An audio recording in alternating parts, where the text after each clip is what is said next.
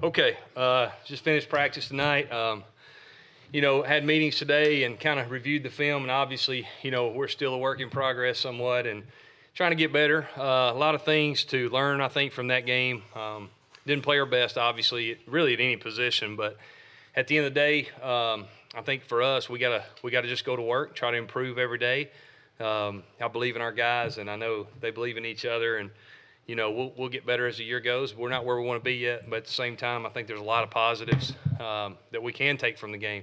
At the end of the day, we won and uh, got an SEC win, which is never never something to uh, to not appreciate. So our guys are, uh, you know, we were real with them today in our meetings about what we have to do to improve, but at the same time, we're we're happy to win and. You know, moving forward, get a chance to play home again, which is uh, which is going to be uh, another great experience. Our guys really enjoy that, and uh, hopefully, we'll continue to improve and I still like the way uh, this team's headed, you know, as far as on offense goes, and just got some young guys that need to grow up, and uh, I think you'll see a lot of progress as the year goes. How, how did Nick Brahms do first start? Uh, I thought he was positive. I thought he did some good things. He made some uh, a few mistakes here and there, like anybody would in their first start, first um, big playing time, and uh, but really pleased. I think the future's bright for Nick, and uh, you know, I like I like a lot of the things he did. Just like I said, he needs more game reps, continue to get that experience. You'd like him to continue in his role now? I think so. I mean, we'll we'll still always obviously you know have competition in practice. Coach Grimes does a great job rotating our guys. You know, uh, we do rotate guys during practice and and let those guys get reps at different times. So, uh, but right now that kind of that's our plan. Jim, with the young guys, with, with the, with the struggles you've had, Mhm. particularly in the middle on the offensive line. Yep.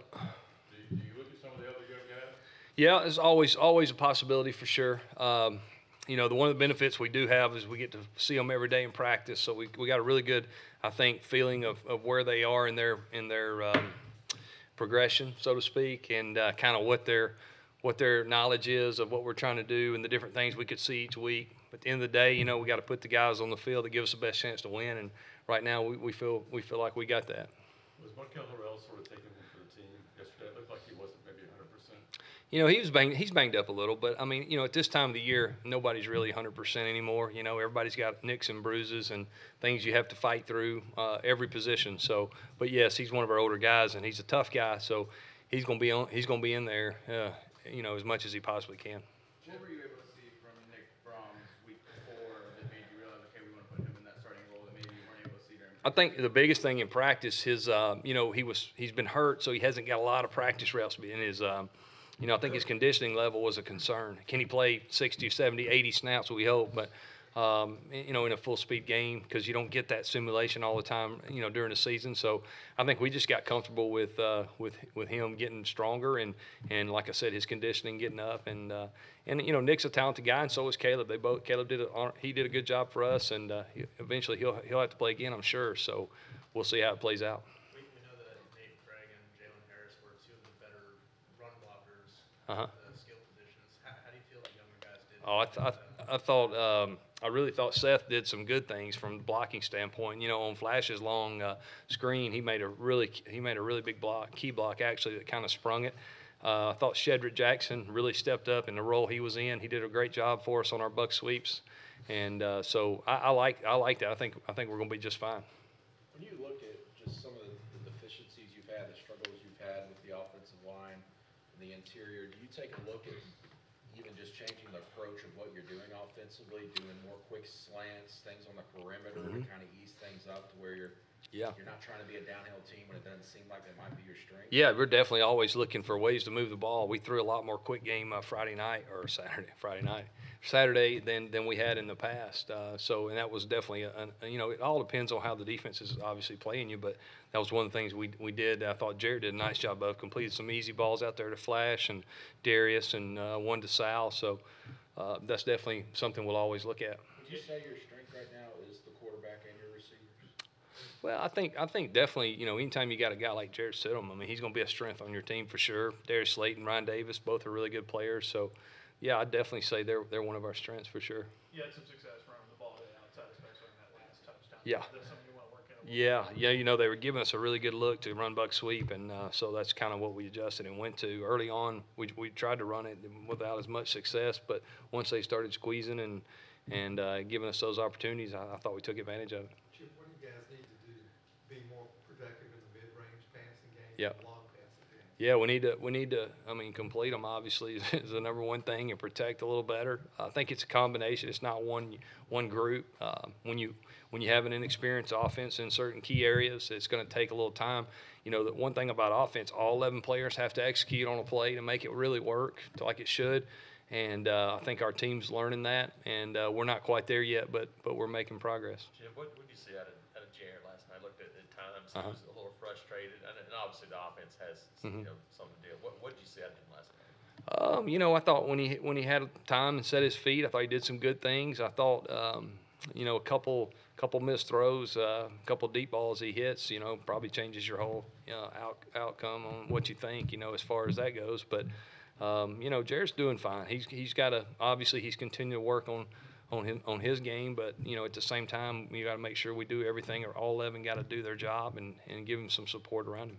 You, mentioned, you know, the, the young guys that receive, Mhm. changed on the offensive line and, and all coming together. Yep. Is that one of those things where you, when you're talking to the offense, you're going, look, it's, it's there, it's just a matter of kind of. hundred percent. You can see it. I mean, we'll put, uh, I'll go back to LSU. We had five good drives in that game that we did a lot of good things. I think we missed a field goal, went for it on fourth down, scored three touchdowns against a pretty good defense. Washington, same thing. We had a lot of good drives in between, if you remember, in, in between the twenties. We just didn't finish in the red zone. And so there, there's a lot of, lot of good things on tape there that we, that we obviously, but to be really good on offense, you gotta be consistent. And you gotta be able to do it all the time, over and over and over. And that's kind of what we're working on. It, last night, that they were able to get so much pressure on Jarrett? Oh yeah, for sure. I mean, uh, you know, anytime, a lot of times too, what we weren't outnumbered in protection, so um, you know, there's some, there's some, there's definitely uh, some frustration there. I know we had, you know, a back miss of protection, and we, you know, we got beat up front a couple times, but at the end of the day, we can't let them push, push the pocket and get in his face, and that's important that we that we try to correct that as much as we can, and I think we will. Jay, ob- Obviously, Southern Miss, you have a history there. Yep. Your first opportunity as an offensive coordinator at the college level. Just Mhm. what, what what was your biggest takeaway from the two years there? You know, it's just such a great tradition there at Southern Miss. I, I thoroughly enjoyed my time there. Um, we, we were in a, a situation there where we were trying to rebuild the program a little bit, and um, you know, we're able to do that. It's very re- rewarding. The people there love football. Great people that work at the university there. Uh, the community supports that place, and uh, they'll they'll always be. You know, Southern Miss will play with an edge, and they'll always be ready to go. And uh, we're definitely got to have our best our best game this week to be able to make sure that we that we play well and, and hopefully get a W. Darius Ham was back, um, working out uh, I guess, the second team Mhm. left. Yeah. How's his progress coming? Where's he sort of fit in? He's coming along. Um, you know, he's trying to get his. Obviously, he's still working his way back in. Been out some, and uh, I think he's a guy. His future's really bright. It's just a matter of keeping him healthy, and uh, he's continuing to progress. What has Anthony Schwartz shown y'all, you know, just in your own words, to, to get it, get some touches and serve? What, what was that again? Anthony Schwartz, how, you know, what has he shown y'all? Yeah, Came uh, in- Came in the fall, came in late. You know, he came in late with all the track stuff, so uh, I think for me, he's been a, a huge surprise. I mean, he's he's a more polished receiver probably than I gave him credit for. Anytime somebody's really fast, that's kind of what you what sticks out. Oh, he can really run, but can he route run?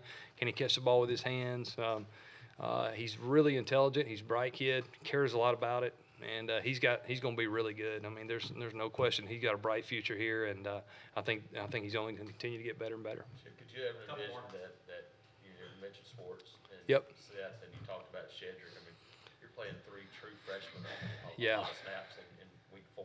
Yeah, you know what? It's it's uh, it, it is a little bit of surprise, but at the same time, once we got them here on campus, and we we loved them in recruiting, but you never know until you get them here. And once we got them here, and they, they all showed flashes. Uh, you know, it's one of the, the bright spots of our, of our recruiting class was that this receiver this receiving group was uh is all they all have a chance to be really good players, and uh, and it's showing. And you know, as the season goes.